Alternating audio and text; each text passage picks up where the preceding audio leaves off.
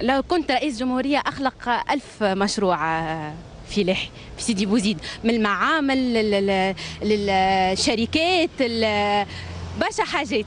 نحاول نخلق فرص نعمل برامج تخلي الشاب يتمسك ببلاده أكثر ويحب بلاده أكثر وحتى كان ما فماش يعني مواطن شغل يحاول هو يصنع فرصته يحاول هو يصنع مشروعه في بلاده قضاء على الفساد قضاء على التجارة الموازية معناها دعم الإنتاج الفلاحي معناها إحداث معناها مناطق صناعية معناها أكثر من اللي هم موجودين. تو آه تحسين مستوى الإدارات. لو كان كنت رئيس آه، آه، نحاول نقرب ياسر المواطن في المزونه يلزمنا نعيش مع المواطن في المزونه ما نخليش هو معناها لأني آه، يعتصم ما نخليش هو يجيني لتونس أبي معناها باش يوصل صوته. يلزمني أنا وهذاك هو دوري معناها كرئيس. يلزمني نكون رئيس تونس التوانسه الكل. وعلى المستوى الخارجي كذلك أنا نتصور لو كان كنت رئيس.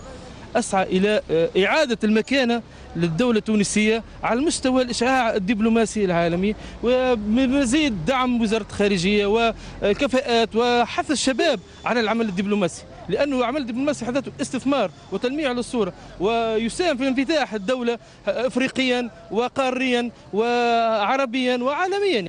الأولوية عندي إني نشغل كل حاملي الشهادة العاطلين عن العمل لأنه ناس ضحوا نجموا ان نسهلوا أكثر للفلاحين يكون مشاريع لدعم الفلاحين الصغار الفلاحين المتوسطين الفلاحين الكبار آه، مشاريع تمويلية. تمويل يكون يعني آه، بمقادير معينة حسب ال- المشروع الفلاحي اللي باش يكون موجود.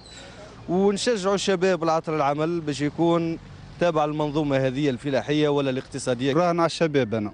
راهن على الشباب. وكان جيت رئيس جمهورية نقوم بواجبي نحو الناس البطالة الناس اللي تحب الشغل. آه، نخرج نشوف الناس اللي حالها ضعاف كيف في المنطقة هذه. آه، نقوم بحاجات معناتها تخلي الناس تنشط الناس آه، تعمل ث- ثقافة كيف ما معمول توا. لو كنت رئيس أول حاجة باش نحارب الفساد ثاني حاجة باش ندعم مشاريع تنموية خاصة في جهة سيدي بوزيد والمناطق المهمشة. ثالثا آه، دعم المشاريع الثقافية.